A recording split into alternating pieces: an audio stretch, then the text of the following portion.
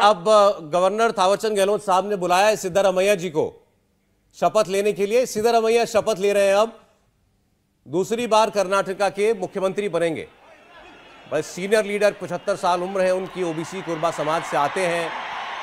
दूसरी बार कर्नाटका की कमान संभाल रहे हैं।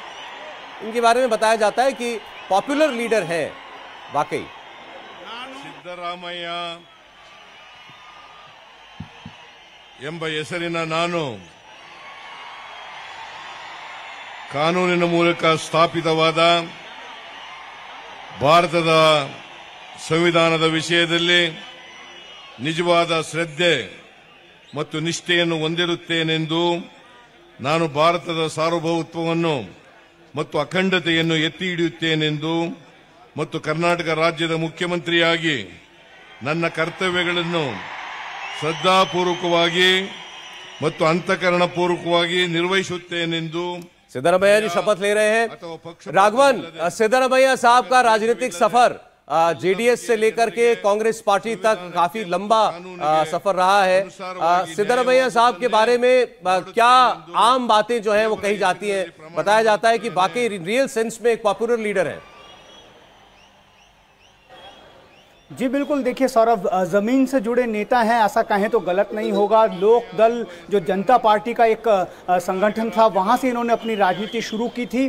चामुंडेश्वरी, पहले और बाद में डीलिमिटेशन के बाद वरुणा, ये दो कॉन्स्टिट्यूएंसीज हैं जो लगातार जहाँ से सिद्धरामैया जो है, उन्होंने अपनी राजनीति, जो एमएलए लगातार वहाँ से बने। एक बार ज़रूर 2018 के चुनाव में वो चामुंडेश्वरी से चुनाव हार गए थे, हालाँकि बादामी से वो जीते थे। गडरिया परिवार, यानी कुर्बा समुदाय से बहुत ही गरीब परिवार से सिद्धरामैया ताल्लुक रखते हैं। पहले दो बार डिप्टी सीएम बने हैं अब दूसरी बार सीएम बनने की शपथ ले रहे हैं। सबसे बड़ा जो इनके पक्ष में जो बात जाती है सौरभ वो ये है कि ये अहिंदा मूवमेंट को रिवाइव करने वाले नेता बने। अहिंदा मतलब अल्पसंख्यक दलित मुस्लिम्स और पिछड़े लोगों को एक साथ लेकर चलने का जो देवजा देवराज अर्श जो फॉर्मर चीफ मिनिस्टर कर्नाटका ने एक मूवमेंट चालू किया था उसको इन्होंने रिवाइव किया और उसके बाद ये उस वोट बैंक के सर्वे सर्वा बन गए। एक तरह से कहें तो हालाँकि 2018 में वो चीज़ देखने को नहीं मिली थी। 2019 में तो जब नरेंद्र मोदी की एक तरह से कहें कि सुनामी थी कर्नाटक में जब 26 सीटें 25 प्लस एक बीजेपी ने जीत ली थी 28 में से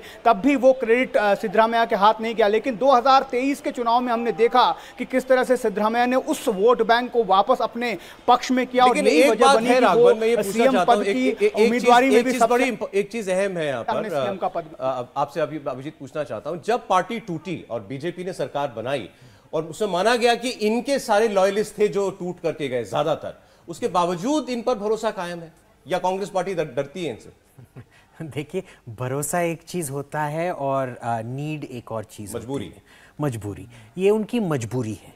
क्योंकि जो जिस तरह से आ, अब जो जब भी आपके संपादक कॉरेस्पॉन्डेंट ने बोला था कि आइंदा जिस किस्म से सिद्धरामैया उसको अंडरस्टैंड करते हैं और उसको एक्सप्लॉयट करते हैं वो शायद डी के शिव कुमार के पास नहीं है। डी के शिव कुमार एक बहुत ही अरबेन किस्म के हैं जो आ, अच्छा कॉन्वर्सेशन कर सकते हैं डील कर सकते हैं। सिद्धरामैया वो जो सोशल डायनामिक्स हैं उसको बहुत अच्छी तरह से मैनिपुलेट करते हैं।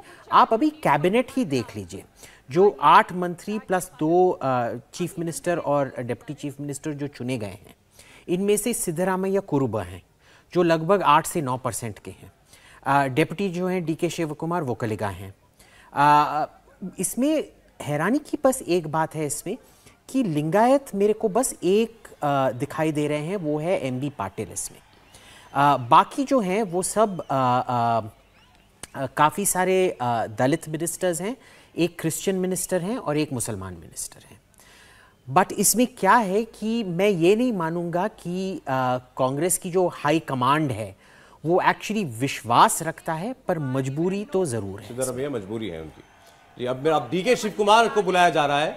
अधिकार पदा गोप्यता प्रमाण। इंडिया टीवी हर वक्त हर जगह। डाउनलोड करने के लिए सर्च करें India TV news Google Play Store या एप स्टोर पर।